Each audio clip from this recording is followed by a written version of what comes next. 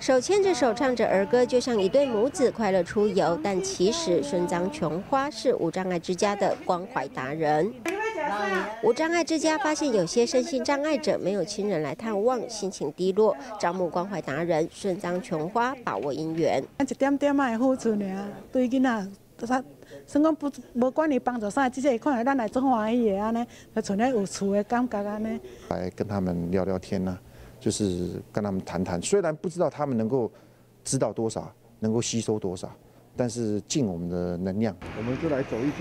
搭着肩，这对感觉像朋友，更像兄弟。关怀达人定期来探望，带身心障碍者散散步，心灵关怀。说是志工，其实更像家人的角色。他们会期盼他们来，在稳定情绪或者是类似亲人这样的一个感情的维系上面，我觉得达人是给我们家民很大的一个功能跟。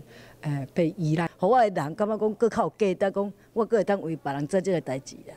一对一陪伴，虽然身心障碍者能给的回应不多，关怀达人却在付出中感受到自己生命的意义。大爱新闻潘真真瑞平高雄报道。